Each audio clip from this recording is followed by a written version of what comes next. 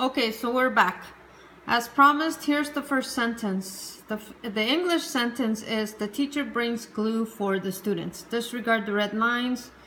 I don't know how to get rid of them. So now that we have that, let's do another one. So the students brought cookies for the teacher. Let's do another one. A verb, a what for a whom. The parent paid the bills for the children. Now, I didn't say the sentence had to make sense, right? All right, so let's think of another one the homeowner buys flowers for his home. The gardener brings water for the trees. Um, the boys buy ice cream for their sister. Okay, so we have a few here. So now let's see how this works. Now that you have the English sentence, you ask yourself, what's the verb? You locate the verb.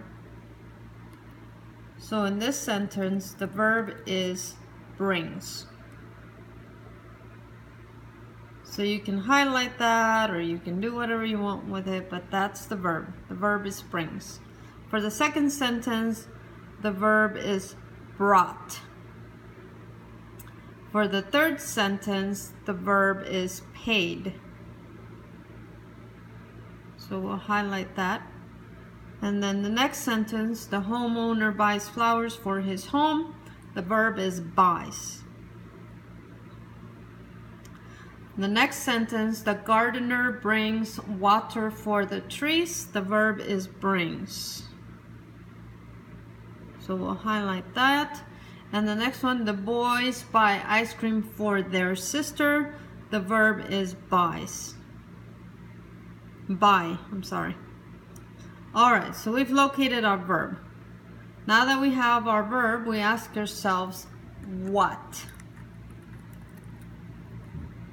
For sentence number one, what? Glue.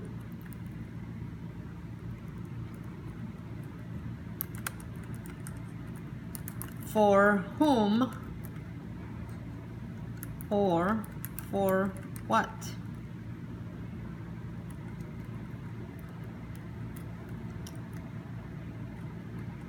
If you picked students, yes, that is correct. So now we have what for whom. So what is the direct object? For whom is the indirect object. So we have that now. And then the next one is the students brought cookies for the teacher. We know what our verb is brought. What? Cookies. For whom? The teacher. So let's go to the next one. The parents paid the bills for the children. What? The bills or bills for whom? The children. Oops. And then that's it. Let's go to the next one. The homeowner buys flowers for his home. What?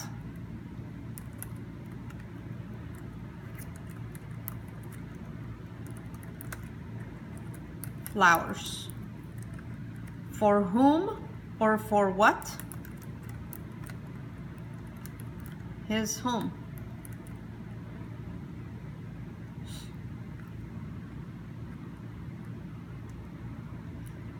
And then we have the gardener brings water for the trees. So the question to ask here is what for whom?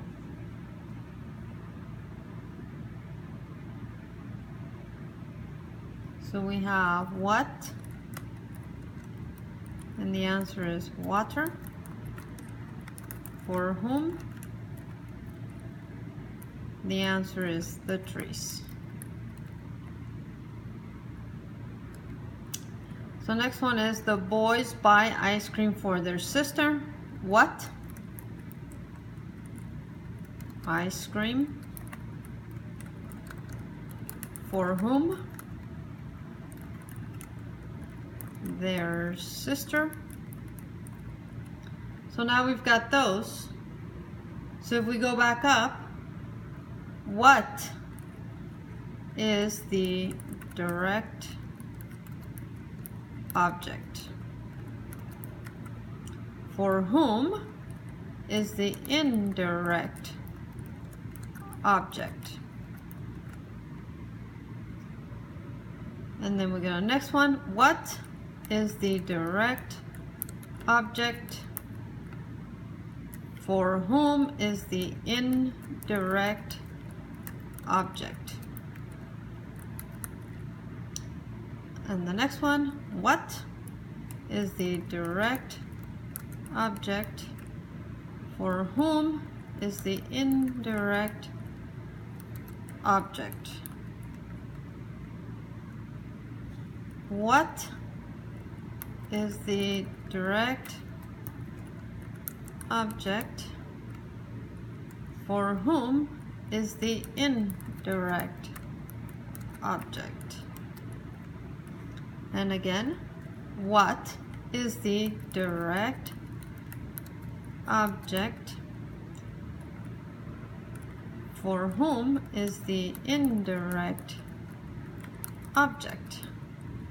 So now that we have that, now you know what your direct and indirect objects are for each sentence. So I'm going to erase this because that looks a little too messy. Okay, so for this sentence again, what glue direct object for whom or for what? Students. So that would be the indirect object. Alright, so now that we have that, then try to have next to you the indirect and direct object pronouns that will be replacing glue, students, cookie, the teacher, the bills, the children, and so on and so forth. Okay, so I wrote it out here. So if you can see, right about there, Indirect object pronouns for yo is me. Direct object pronouns, me. So I'll give you about three seconds for you to make write them down or pause this video and make your own list.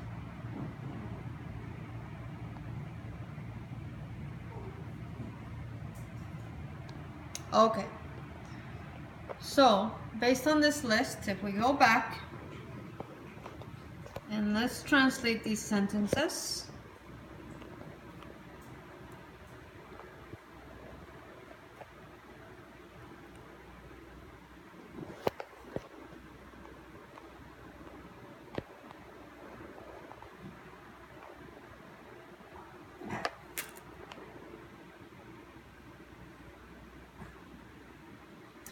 All right, so we have then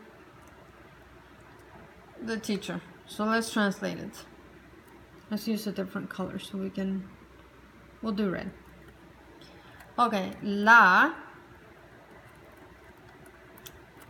maestra. So that's your subject. And then you need to bring your verb down. But before you do, you have to ask yourself, is this verb conjugated or not? It is. And because it is, we're going to leave a big space here for our indirect and direct object pronouns. So then we have the verb. So let's go back.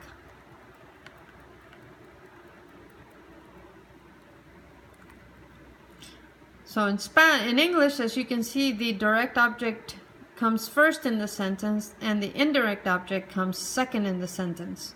In Spanish, we swap. So the first thing is going to be the indirect object and then the direct object.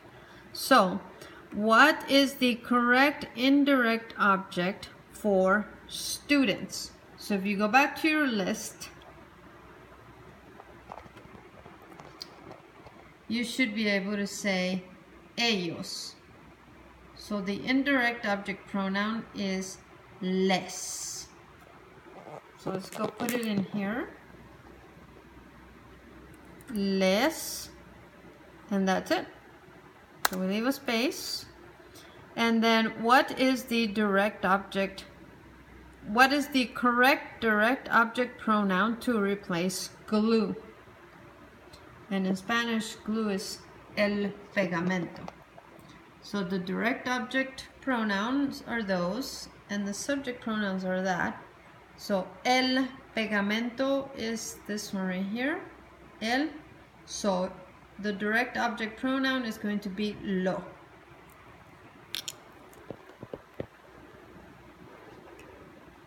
So then we put lo. I think I left too much space. La maestra les lo trae.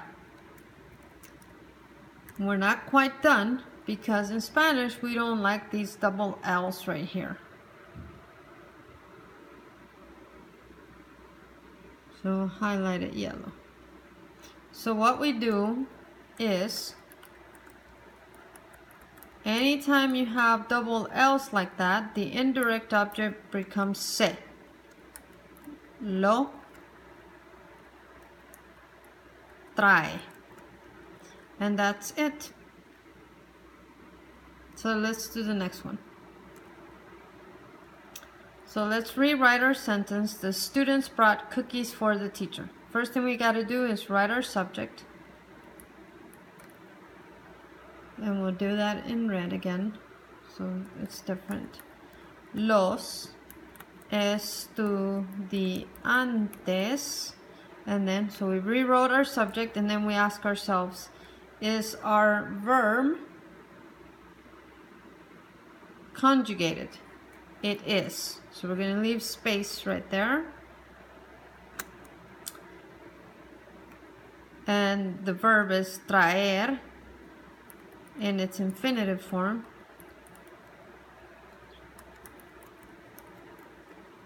And that's it. So now we need to take our Again, you do, in English, the direct object pronoun comes first and the indirect object pronoun comes second. But in Spanish, we swap them, so we put our indirect object first and then our direct object. So what is the correct indirect object pronoun to replace teacher? So we're going to assume it's a female teacher. So we're going to do le. And then what is the correct direct object pronoun to replace cookies? And those are feminine plural. So it's going to be las.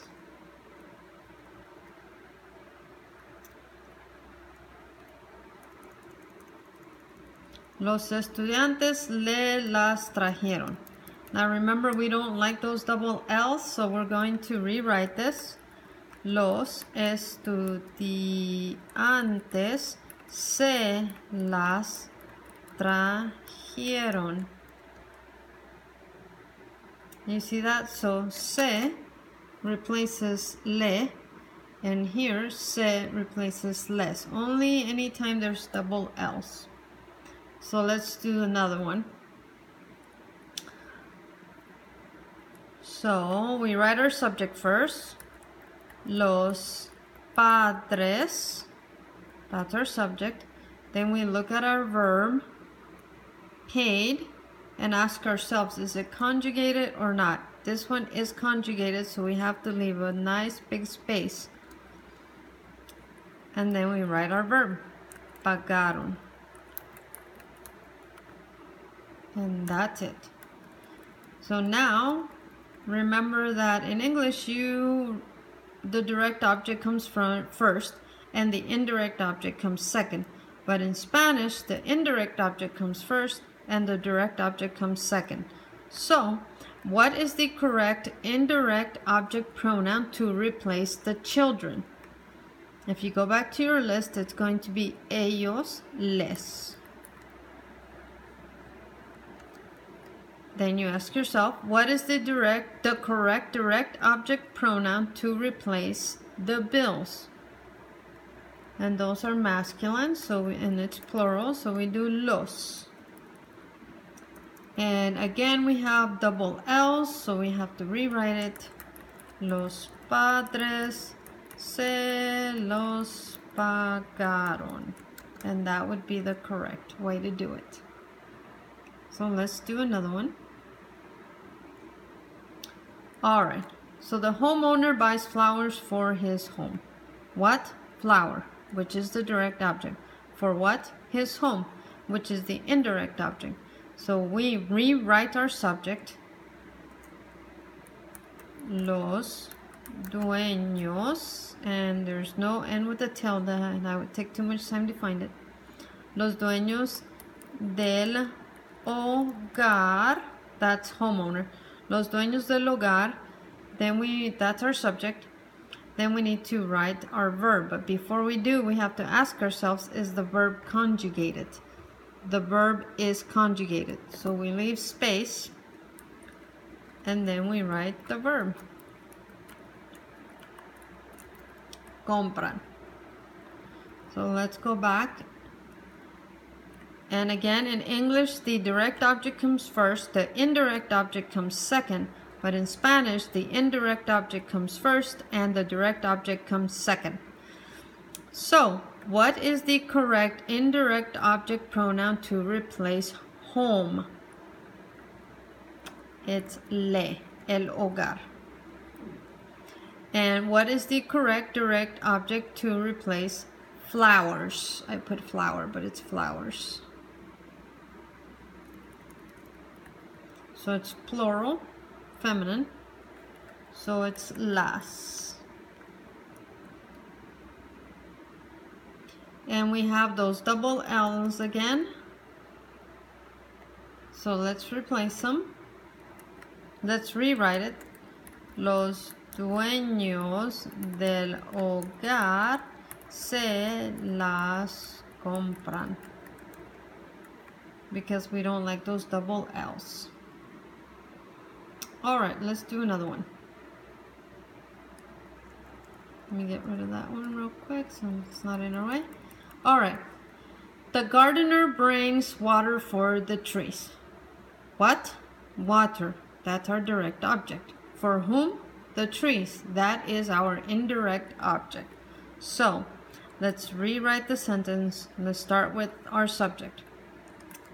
El jardinero that's our subject. And then we ask ourselves, is our verb conjugated or not? Our verb is conjugated. So we leave space and then we write our verb. Now that we have that, let's plug in our objects.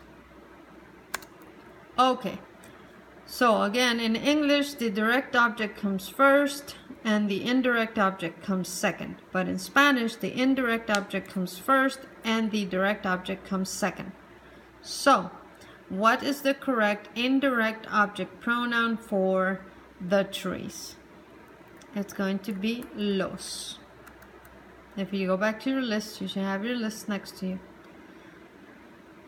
So now that we have our indirect object pronoun, let's put our, what would be the direct object pronoun to replace water? It's going to be la. And again, we have double L, so that means we have to rewrite our sentence.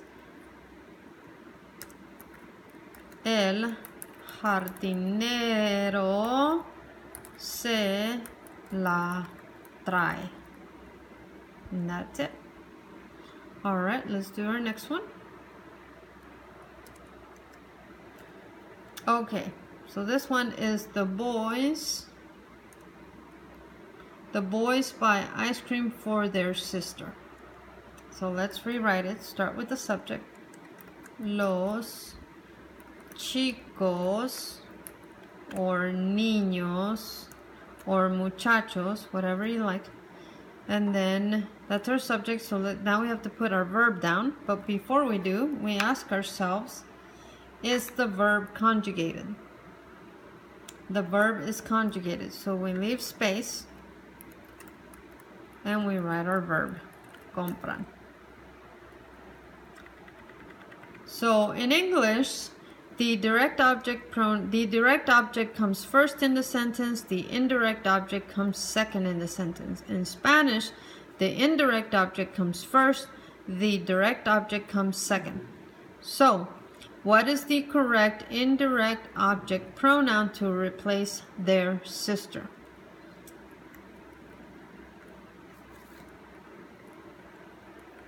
Le. Okay. What is the correct direct object pronoun to replace uh, ice cream? Lo. And again, we have double L's. So that's not going to work because we don't do double L's. And uh, let's see here.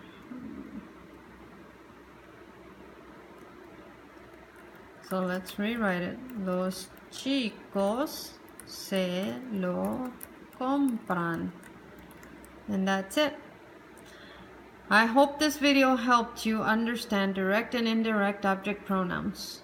Please feel free to message me or put any comments on the bottom of this video and I would be more than glad to update it or make it faster. Thank you very much. Have a great night.